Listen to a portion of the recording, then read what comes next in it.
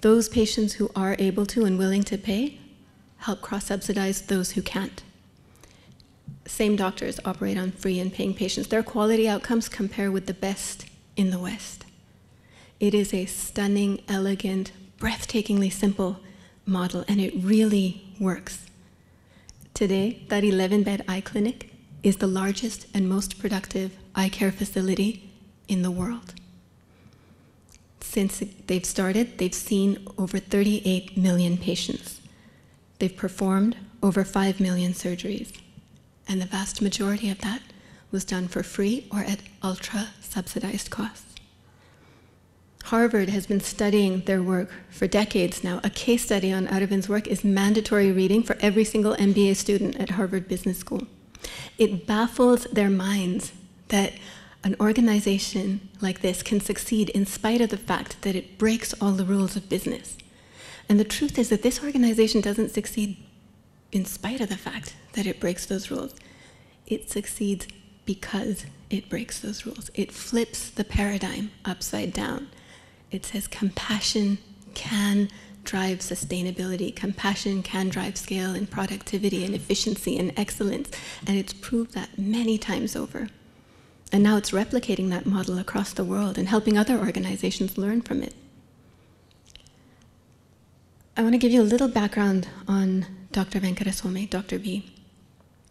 He was born in a village, the eldest of five children, struggled. He was, there were no doctors in the village, so he lost several cousins. Before the age of 10, he'd lost three or four cousins uh, due to pregnancy, uh, childbirth related complications. So, as a five year old, he had decided that he was going to grow up and become a doctor and prevent such untimely tragedies. So, he made his way to and through medical school, and then in his early 30s, he contracted a rare and extreme form of rheumatoid arthritis. He was 31 it twisted and froze his fingers permanently out of shape. He was bedridden for two years.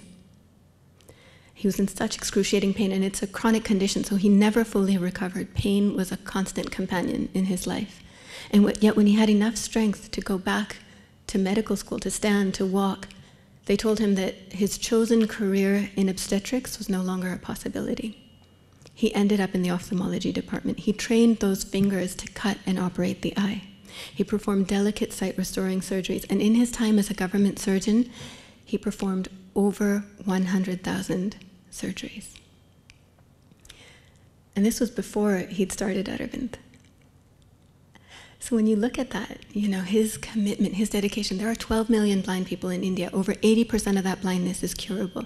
He knew he had a gift that he could give. And so he worked tirelessly. He worked like a man possessed. And what fueled him was that deep conviction that we are here to serve each other. That in doing that, we build ourselves, we build our capacities, and that the whole world is lit up. This man has, through his legacy, lit millions of eyes. And I'd like to give you, through a, small video, just to bring his voice and his actions and his spirit into the room, to give you just a glimpse of what his life held. I used to sit with the ordinary village man because I am from a village. And suddenly he turned around and then you see seem to contact his inner being. You seem to be one with him.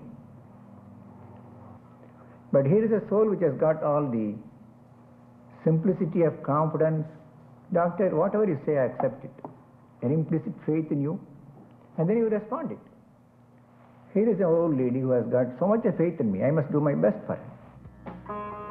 When we grow in spiritual consciousness, we identify ourselves with all that is in the world. So there is no exploitation. It is ourselves we are helping. It is ourselves we are healing. It amazes me every time when I see this to look back on the fact that Aravind was started after Dr. V's retirement. Aravind was his retirement project. That's what he did instead of going out to play golf. You know, you look at that capacity that we each have. He was an ordinary man with an extraordinary conviction, an extraordinary commitment to service. What he did will continue to live, live on. And you look at these, all of these people, you know, here was a crippled surgeon.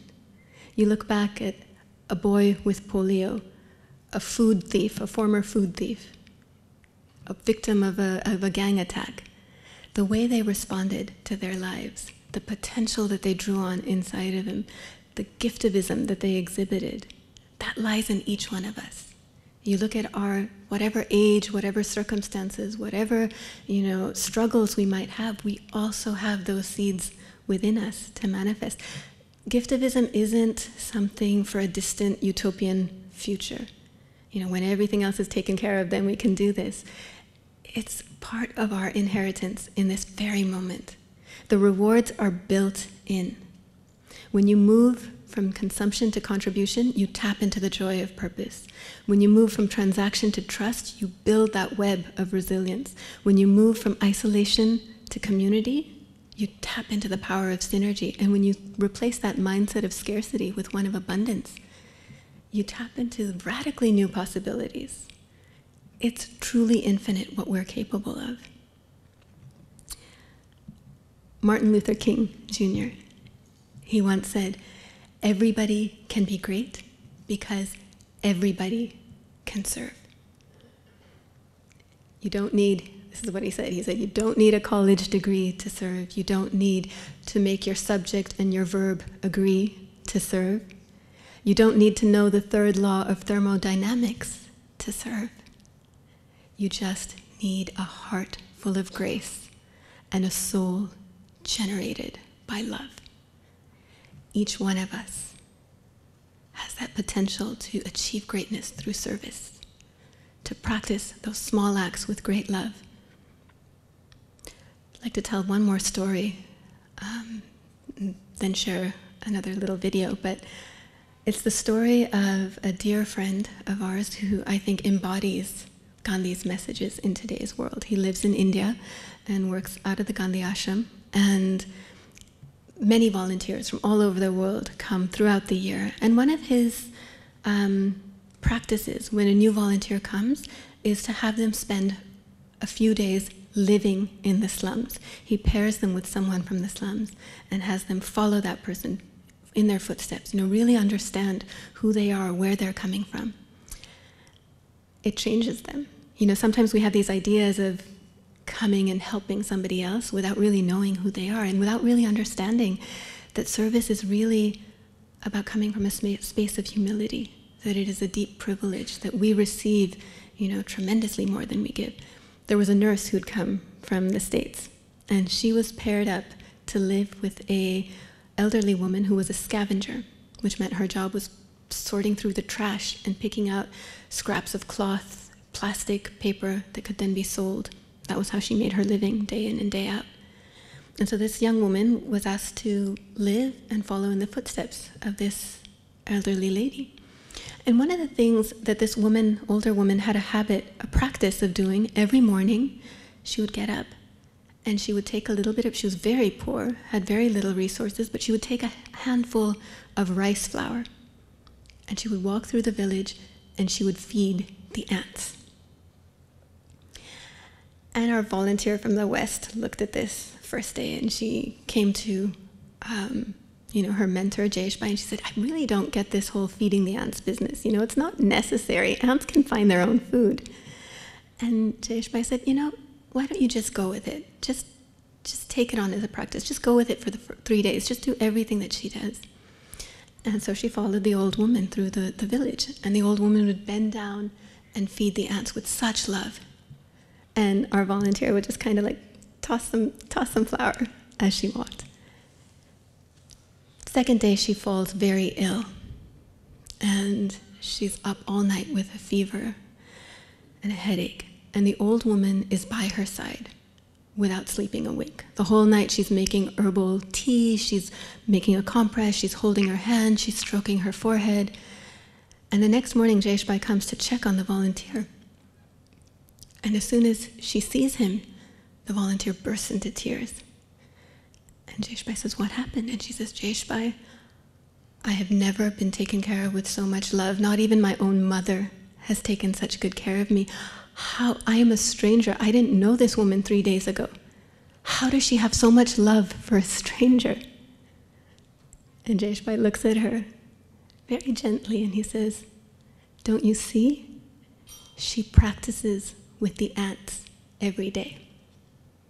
She practices with the ants every day. These small acts, seemingly insignificant acts of kindness, of generosity, of compassion, they build us and they allow us to step up in those moments when we can be of service to other people. In those moments, we truly discover who we are and what our potential is. One of the things that we've discovered in the work that we do is that wherever your boundary is, you can always push it a little further. You know, we all think of ourselves, we are kind, we're generous, we do service, we are engaged in these wonderful activities. Yes. And there's always that little bit more that you can do. And so we thought, you know what, let's let's do a challenge. We started this with some of our young interns, young teenagers, who took on a 30 day kindness challenge. Every single day, a unique act of kindness for a month. And by the end of the month, transform, transformations in the family, in the schools. They've learned so much about their own capacities. So we thought, well, why not? Why do this with just a few people? Let's open it up. Let's do a kindness challenge that anyone can sign up for. So last September, starting September 11th, we did a 21 day kindness challenge. We thought we'd have a few hundred people sign up, 6,000 people from all over the world, 90 different countries, committed to doing. We would send them an email every day with a unique act of kindness that they could practice. And then they would share their stories on our website. And it was phenomenal. Fourth graders who were going out and doing kind acts for their parents, grandparents who were doing it for their neighbors, neighbors who were doing it for their garbage man or their, you know, their postman all of a sudden, all of these ripples going out in all different directions. And at the end of it, we had a, it was the closing day, and we had a friend who said, he's a musician. He was so inspired. He said, I'm going to write a song on kindness, and I'm going to dedicate it to all of these people around the world who have that, all the people who have that spark and who spread these ripples. And so he created this beautiful song, and almost, you know, in just a matter of a few days, there was a music video with it. These are beautifully talented uh, videographers, musicians, and volunteers from all over the world who created this music video. It's called Being Kind that I wanted to share.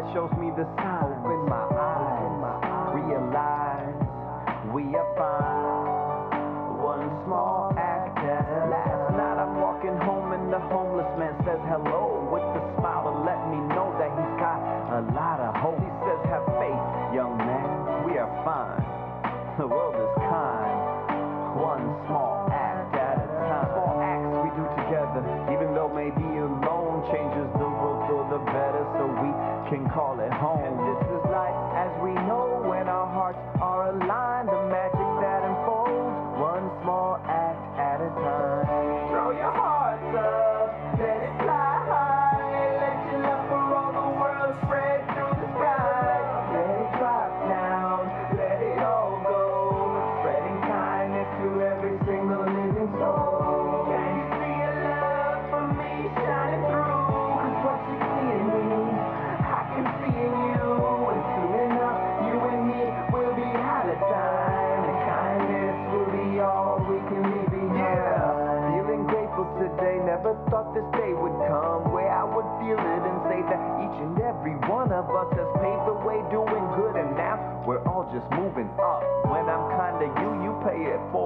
is how we yeah. build trust. Never had faith, but now I'm seeing you. Hacha, I wanna give you my life. Wanna spread love before I die. Thank you, God, for finally letting me realize when I serve man, I'm really serving you in disguise. Smiles everywhere, cause now everybody's got the bug. Ain't no life without the love. If it is, it ain't no fun. What we gonna do? Now just grab a friend and get